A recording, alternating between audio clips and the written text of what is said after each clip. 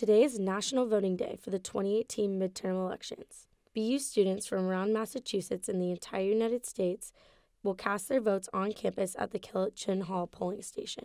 Um, I've heard from some people, oh, you, you complain about the country is all the time. Why are you like even feeding into it by voting? Well, that's the one way we can change it. So, like my vote really might not matter, but there's like that little bit of like hope that maybe it will. While many students find voting an easy process, others are struggling to cast their vote. Um, I saw on BU's Instagram that if you were a Mass resident and you're registered to vote, you could come to Myles and vote.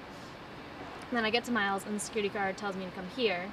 And then I come here and they say that that's actually not a thing. So they had me register to vote up here, but I can't then register. I can't then vote in this election. I'll be able to vote in like an election next year.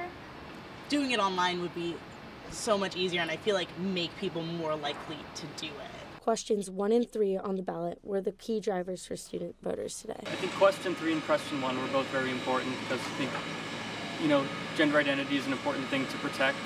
And uh, question one deals with, like, I think it was the uh, how many nurses can be assigned to one patient at once. How'd you vote today? Awesome. You vote yes on three?